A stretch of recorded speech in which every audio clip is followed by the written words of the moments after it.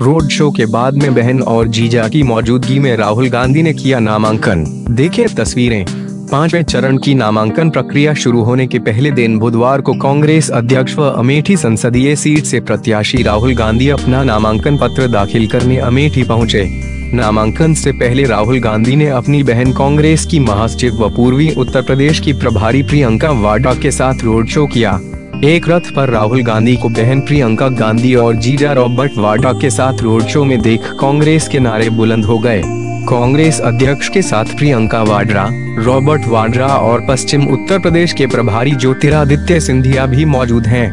कांग्रेस प्रत्याशी राहुल गांधी ने प्रियंका वाड्रा, रॉबर्ट वाड्रा और माँ सोनिया गांधी की मौजूदगी में नामांकन पर्चा दाखिल किया।